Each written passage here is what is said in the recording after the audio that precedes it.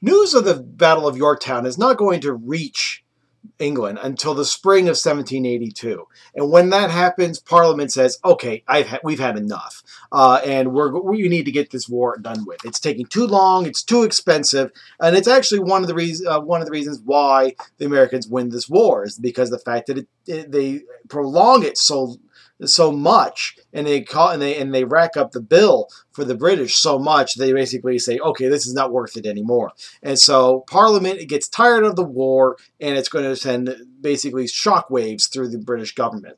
Lord North, he's been he's been prime minister since at least the 1770, 1773 uh, with the Tea Act, if you remember that. Um, he is going to resign, and it's going to be up to his successors. First, Lord Rockingham, uh, and then Lord Shelburne, that are going to uh, negotiate the peace. The reason why there's two successors is that, that Rockingham uh, is going to unexpectedly die, and it's going to be Shelburne that's going to uh, negotiate the uh, the peace between between the United States and Britain.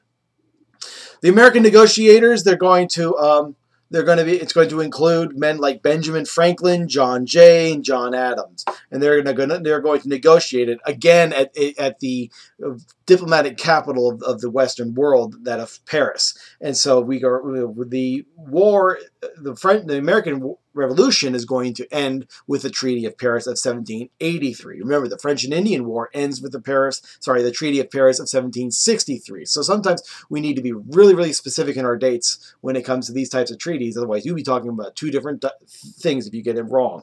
Uh, but nonetheless, um, in September of 1783, the final details of the, of the, the, the, treaty is, are going to be published. And here's what's going to here's what happens. Well, number one, of course, Britain, you lose. Uh, that's that's obvious. Uh, the United States is going to get every British territory within North America, with the exception of Canada. Canada is going to stay in the uh, with the British.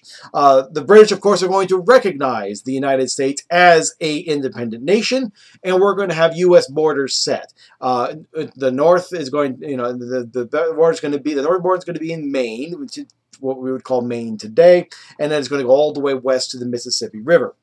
Spain's going to get Florida, and in fact, when they get Florida, they're going to control uh, the the Gulf of Mexico coast. And of course, the United States is going to get rights off, fishing rights off the coast of Canada. But nonetheless, uh, this, this, is the importance of the, York, the Yorktown campaign. The fact that it basically convinces the British this war is lost, it's not worth it anymore. We need to conclude a peace uh, and face up to the fact that the United States is going to be an independent power.